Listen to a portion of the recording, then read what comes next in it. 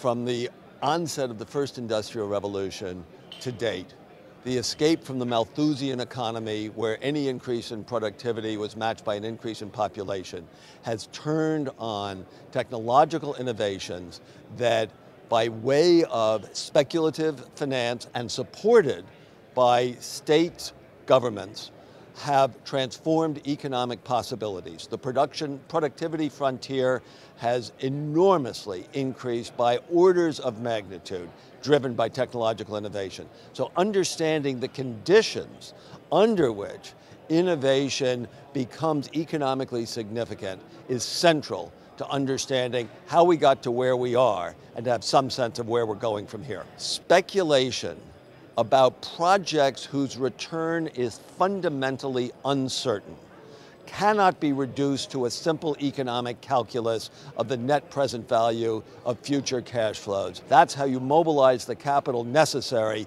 to build the canals, the railroads, the electricity grid, and the internet. And it's also how you fund the Darwinian explosion of hopeful monsters that are trying to find out what you can do with this new infrastructure. And when it works, it creates a new economy.